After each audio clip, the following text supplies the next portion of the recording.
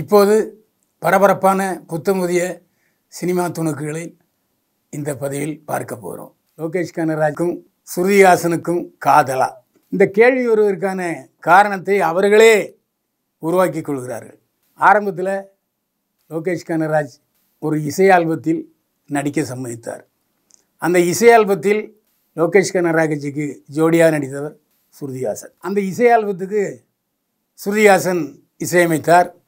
அவருடைய தந்தை உலகநாயகன் கமலஹாசன் வரிகளை எழுதினார். இந்த இசை ஆல்பத்தில் முழுக்க முழுக்க படுக்கையறை காட்சிகள் ஒருவர் மீது ஒருவர் காலை போடுவது ஒருவர் மீது படுத்து உருள்வது இச்சி இச் உதட்டோடு முத்தம் லோகேஷ் கனராஜும் ஸ்ருதிஹாசனும் பகிர்ந்து கொண்டார்கள். ட்ரெய்லரும் வெளியிடப்பட்டது இசை ஆல்பமும் வெளியிடப்பட்டது.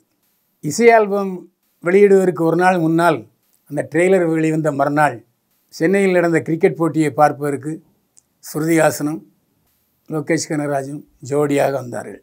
லோகேஷ் கனராஜ் கை சுருளிஹாசன் கழுத்தில் இருந்தது.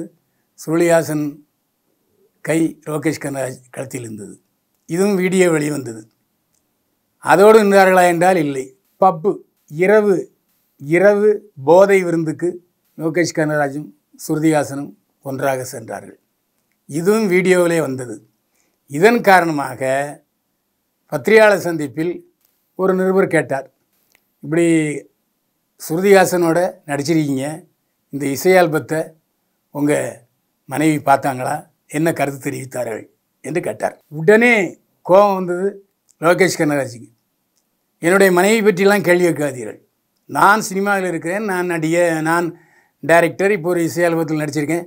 என்னை பற்றி மட்டும் கேளுங்க. என்னுடைய குடும்பம் என்பது என்னுடைய ப்ரைவசி என்னுடைய ப்ரைவசியில் ஏன் தலையிடுறீங்க? என்று கோவப்பட்டார் லோகேஷ் கனராஜ் ஒருவேளை அதுக்கு முன்னாள் மனைவியிடம் நிறைய வாங்கி கட்டியிருப்பாரோ என்னமோ என்பது நமக்கு தெரியவில்லை. இன்னொரு அடிஷ்னல் தகவல் என்னென்னா லோகேஷ் கனராஜ் கொஞ்சம் மூட் அவுட்டில் இருந்திருக்கார். ஒரு பத்து நாட்களுக்கு முன்னால். அப்போ அவருடைய உதவி இயக்குனர் நண்பரும் ஒருத்தர் வந்து என்ன சார் டல்லாக இருக்கீங்க? இல்லைப்பா கொஞ்சம் பிரச்சனைகள் அப்படின்ட்டுருக்காரு சரி சார் உங்கள் பிரச்சனைகள்லாம் உடனே தீர்ந்துடும் இந்தாங்க இந்த கருங்காலி மாலையை போட்டுங்கன்னு சொல்லி கொடுத்துருக்காரு. இப்போது லோகேஷ் கனராஜ் கழுத்தில் அலங்கரிப்பது கருங்காலி மாலை. ஆனால் இந்த கருங்காலி மாலை என்பது பிதற்றல் பேற்றல் மூட நம்பிக்கையின் உச்சக்கட்டம் இந்த கருங்காலி மாலைக்கும் ஜோதிடத்துக்கும் எந்த சம்பந்தமும் இல்லை என்று ஜோதிட வல்லுநர்கள் பெரும்பாலோர் ஆணித்தரமாக தெரிவித்திருக்கிறார்கள். கருங்காலி மாலையை விற்பனை செய்ய வேண்டும் என்ற நோக்கத்திலே பலர் இது பற்றி பொய்யான தகவல்களை விளம்பரமாக அளித்து கொண்டிருக்கிறார்கள்.